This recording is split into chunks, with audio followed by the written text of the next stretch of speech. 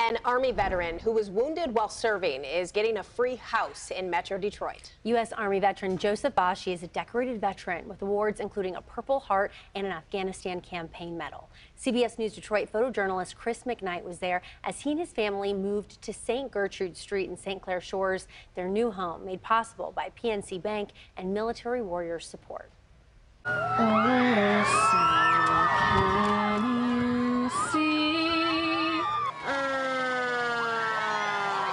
When we arrived, there was a school bus full of children, uh, firefighters, police, and it was, um, it was very welcoming. And what a joyous occasion this is. So this is our eighth home donation because we believe one of the most meaningful ways to honor our veterans and their families is to donate to them.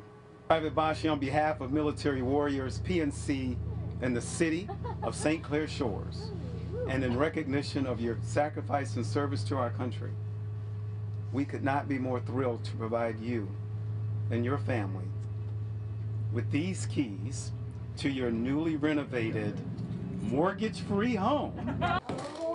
Oh. that sounds like happiness. Merry Christmas! Merry Christmas, ladies. Oh, this is beautiful. It's one of those life-changing moments where your life converges into a more positive future, and I don't know, there's no greater gift than that. Oh, say does that star-spangled banner yet wave?